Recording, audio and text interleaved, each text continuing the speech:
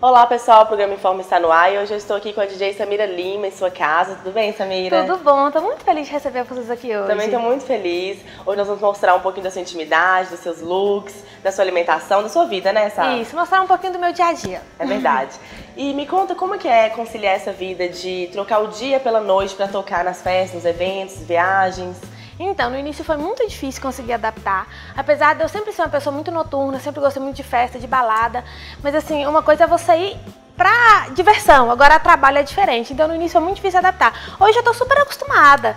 Às vezes chego em casa às 7, 8 da manhã, dorme até 3, dorme até 4. Acho que o corpo da gente vai adaptando, vai adaptando né? Isso, né? o corpo vai adaptando. sequência. Aí você dorme um pouquinho de manhã para trabalhar à noite. Isso, e na semana é super tranquilo para mim, porque na semana é, eu trabalho mais na empresa nossa, minha e meu marido.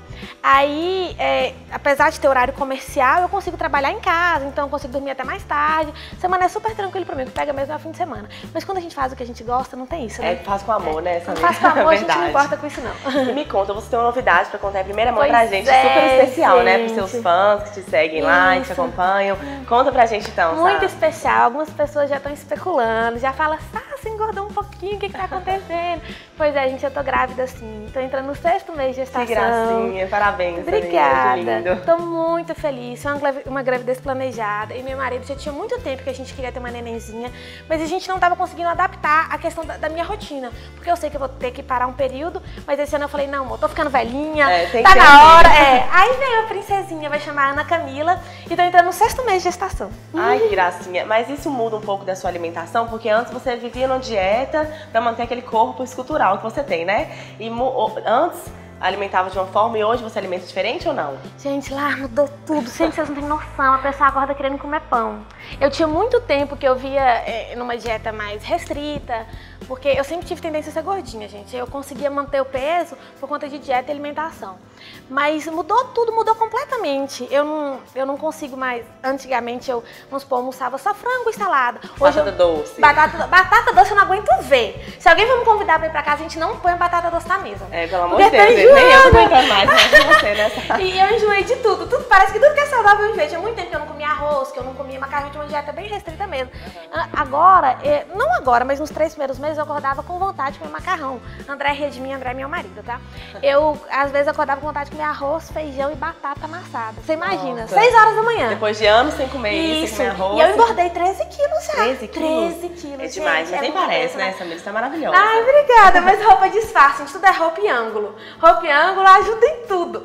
É, e com o bebê lá, como é que é pra fazer os shows, agitar a galera? Eu tive dificuldade só no início, sabe? Mais por questão dos enjoos. E eu peguei uma fase muito difícil, que eu tava viajando bastante pra fora, eu faço mais show fora do que aqui viajando muito pro interior da Bahia. E às vezes cidade do interior, que não tem muita infraestrutura, não tem assim um lugar legal para você almoçar, comida muito caseira, comida de, de, de, roça, que é tudo muito gorduroso. Então, nossa, foi muito difícil. Eu passava muito mal, eu tava no palco, doida para descer do palco, porque o estômago já tava embrulhando. Mas agora tá super tranquilo. Tem algumas limitações, igual, por exemplo, tô na dificuldade de usar salto e a pessoa é pequenininha. É, então, tem 1,58m. Aí, é, tem algumas limitações, mas assim, gente, gestação é saúde. Tem gente que fica, ai, Samira, você fazendo isso grávida. Um dos motivos que eu não divulguei antes minha gravidez foi por isso. Né? É, eu fiquei com muito medo de todo esse titi, um receio, de todo esse conversa, burburinho, é isso. Então, gente, quem for contratar a Samira agora, põe no camarim frutas. Pois é, agora salada. mudou, já de salgadinho frito. Ou então um docinho. ah, já são 13 quilos, vamos colaborar nisso, é, não pode colaborar. passar disso não.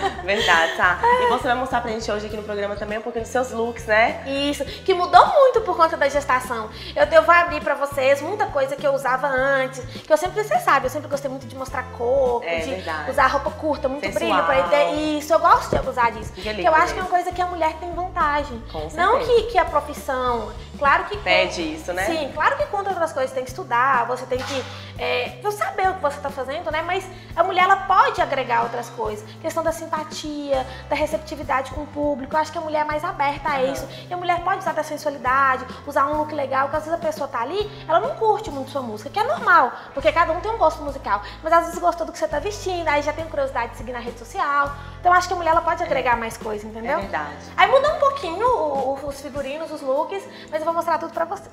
Sai falando de ritmo, né, musical, o que, que você gosta mais de tocar? Então, quando eu comecei a tocar, eu fazia muita festa particular, muito evento particular. E acaba que você toca de tudo. Hoje, é, já, eu já tenho cinco anos de carreira, então a gente vai aprimorando, a gente vai. O gosto musical vai mudando. Hoje eu gosto. Depende do estilo da festa também, sim, né? Sim, depende do estilo da festa. Eu sempre gosto de, de ir com um set list já meio que preparado. Claro que depende do, do, do feeling que você tem, do que a pista tá pedindo, você pode mudar na hora do show. Mas eu sempre gosto de alguma coisa preparada. É, hoje o que eu toco é DM. É uma música mais comercial, que tem mais vocal, que é o som que eu gosto de fazer. Mas a gente vai adaptando a, a cada a evento. Todo Sim, gosta, né? Tem evento mesmo que eu toco, por exemplo, eu vou abrir uma noite, toco finalzinho da tarde. Aí você tem que tocar num BPM mais baixo, uma música mais tranquila. Aí a gente vai adaptando, mas o que eu gosto mesmo de tocar é bem. Eu sou agitada, gente. Eu, é, gosto eu, eu vejo pessoas, né? Tem aquela agitação, é, tem que dançar lá em casa também. Isso, eu gosto Verdade. de pular, eu, eu sou muito agitada. É. Gente, então não sai daí, porque daqui a pouco nós vamos mostrar um pouquinho do closet, né? Que a Samira vai abrir pra gente, pra mostrar todos os looks, tá? Daqui a pouco.